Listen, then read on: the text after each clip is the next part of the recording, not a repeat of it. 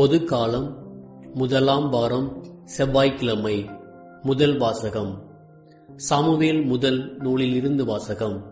அதிகாரம் ஒன்று இறை வார்த்தைகள் ஒன்பது முதல் இருபது முடிய. அந்நாள்களில் சீலோவில் உண்டு குடித்த பின் அண்ணா எழுந்தார்.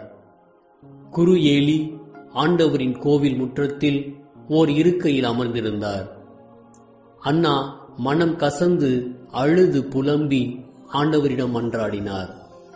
அவர் பொருத்தனை செய்து வேண்டிக் கொண்டது படைகளின் ஆண்டவரே நீர் உம் அடியாளாகிய என் துயரத்தை கண்ணோக்கி என்னை மறவாமல் நினைவு கூர்ந்து எனக்கு ஓர் ஆண் குழந்தையை தருவீரானால் அவனை அவன் வாழ்நாள் முழுவதும் ஆண்டவராகிய உமக்கு ஒப்புக் கொடுப்பேன்.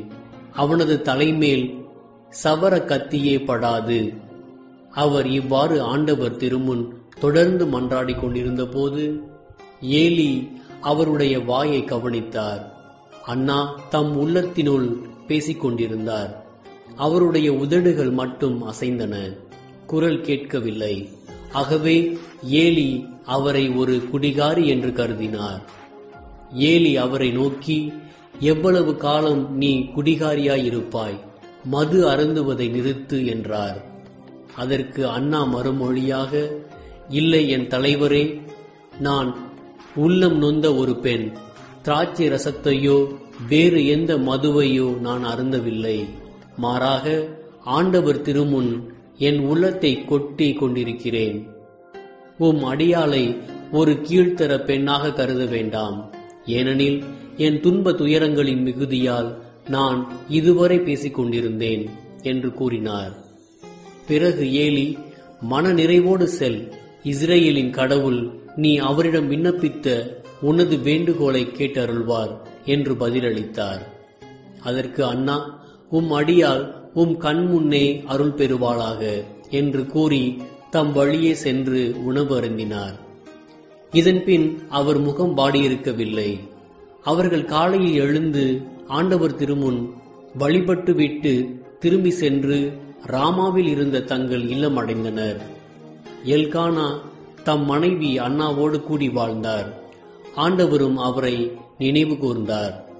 உரிய காலத்தில் அண்ணா கருவுற்று ஒரு மகனை பெற்றெடுத்தார். நான் அவனை ஆண்டவரிடமிருந்து கேட்டேன் என்று சொல்லி அவர் அவனுக்கு சாமுவேல் என்று பெயரிட்டார். இது ஆண்டவர் வழங்கும் அருள்வாக்கு. நன்றி.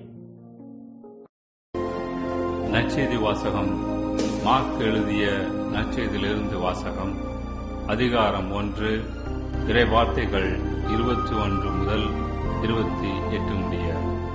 இயேசுவும் சீடர்களும் கபர்நாகும் ஊரில் நுழைந்தார்கள்.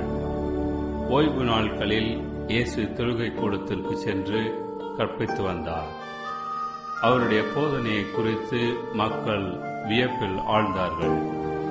ஏனெனில் அவர் மறைநூல் அறிஞரைப் போலன்றி அதிகாரத்தோடு அவர்களுக்கு கற்பித்து வந்தார்.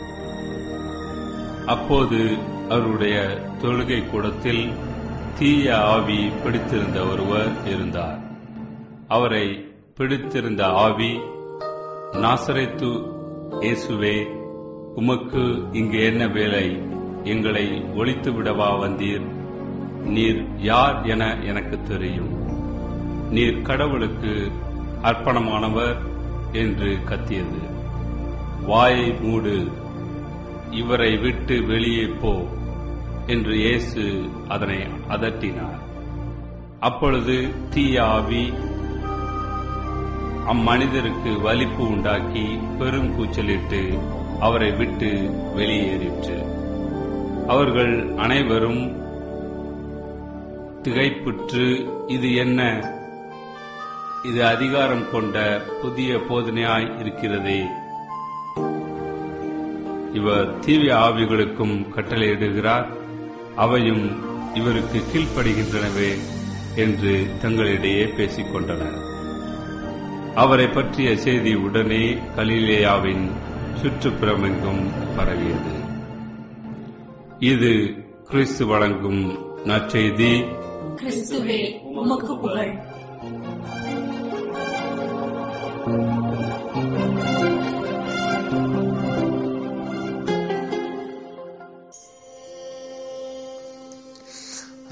அன்னை தெரேசா ஆயிரத்தி தொள்ளாயிரத்தி எண்பத்தி ஐந்தில் எண்ணூர் வந்திருந்தார். அவரது இல்லம் ஒன்றிற்கு ஓர் இடத்தை அவர் தேடிக்கொண்டிருந்தார் அப்பொழுது ஒரு பணக்காரர் அவரை சந்தித்து தனது இடம் ஒன்றை அருட்சகோதரிகள் இல்லம் கட்ட தருவதாக சொன்னார். ஆலயத்திற்குள் சென்று ஜெபித்துவிட்டு வெளியே வந்த அன்னை தெரேசா அந்த பணக்காரரிடம் உங்களது தாராள மனதிற்கு நன்றி. ஆனால் அந்த இடம் எங்களுக்கு தேவேண்டாம் என்று சொல்லி மறுத்துவிட்டாராம். இந்நிகழ்ச்சி நடந்து ஏறத்தாழ பதினைந்து ஆண்டுகள் கழித்து பணக்காரர் தருவதாக சொன்ன நிலமும் அதை சுற்றியிருந்த நிலங்களும் எண்ணூர் அனல் மின் நிலையத்திற்காக அரசால் எடுத்துக்கொள்ளப்பட்டன ஒருவேளை அன்னை தெரேசா மறுக்காமல் அந்த இடத்தை வாங்கி கட்டிடங்கள் கட்டியிருந்தால் அவற்றை அவர் ஒருவேளை இழந்திருக்கக்கூடும் ஜெபம் எவ்வாறு ஒரு மனிதருக்கு தெளிவான வழிநடத்துதலை கொடுக்கிறது என்பதை இந்நிகழ்ச்சி எடுத்துரைக்கிறது. அமெரிக்காவில் வெள்ளையர்களுக்கும் கருப்பினத்தவர்களுக்கும் இடையே உள்நாட்டு கலவரம் சிவில் வார் நடந்து கொண்டிருந்த நேரம். அப்பொழுது அந்நாட்டின் ஜனாதிபதியாக இருந்தவர் ஆபிரகாம் லிங்கன். உள்நாட்டு கலவரத்தை கையாள்வது எப்படி என்று அவர் திக்குமுக்காடிய நேரம்.